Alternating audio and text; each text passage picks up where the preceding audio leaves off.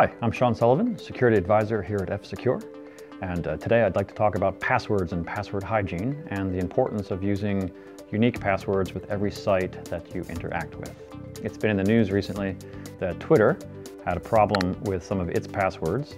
Uh, the password was leaking in plain text, so in, in, an unencrypted form, the password was getting saved to log files. In this case, Twitter didn't leak it onto the internet, nobody hacked in and grabbed it, so the passwords aren't compromised in that way, but Twitter still took the precaution of like saying, everybody, let's assume everybody's password is compromised and let's ask everybody to reset it. Uh, it's very important to have a unique password that you know is not compromised with every service that you use. Because if you have even a good, strong password and you reuse it at multiple locations, one compromise, such as Twitter, um, could compromise everything that you interact with. Facebook, your bank, uh, whatever service. So bad guys can get a hold of passwords from site A, site B, C, D, E, and F can be attacked uh, using the same email address and password combination. So I've used a password manager for years and years now, uh, for more than a decade.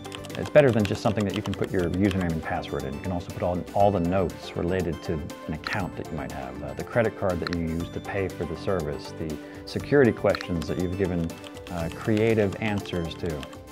Password safes have the ability to generate something for you. Um, good ones have the ability to copy paste. Um, anything related to the account.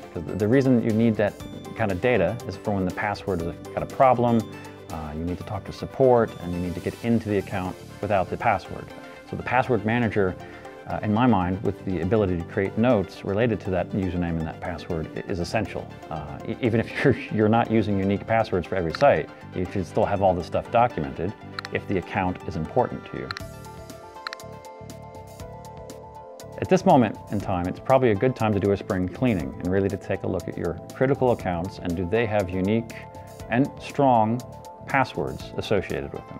Uh, and you don't need to do it all at once, like one account per day at a time. And, and before you know it, you'll be living a lifestyle where you don't have to worry about these sort of security breaches in the future.